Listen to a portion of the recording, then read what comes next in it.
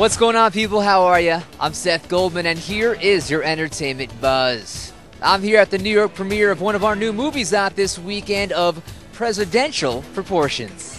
I don't want to sound like uh, I haven't made no mistakes. Yeah, I'm confident I have.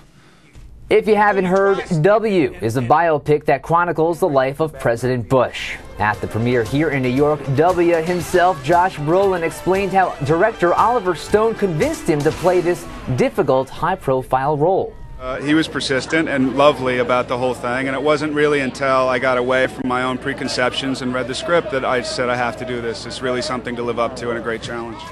Okay, moving on from W, here's what else is bringing on the pain this weekend.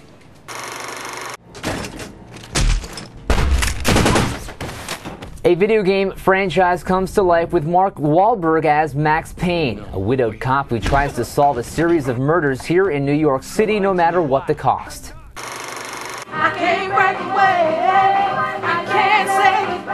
Based on the best-selling novel The Secret Life of Bees, is set in 1964, featuring two friends who run away from home in order to solve the mystery surrounding one of their mothers who are taken in by beekeepers. What the hell is that? Looks like a Nachos Del Grande.